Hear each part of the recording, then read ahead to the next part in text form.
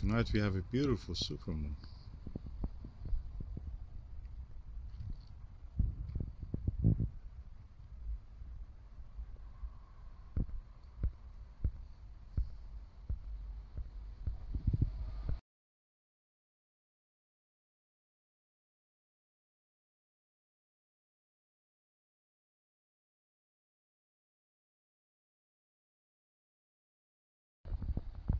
Beautiful. Of the loveliest moons you can see. is a full moon.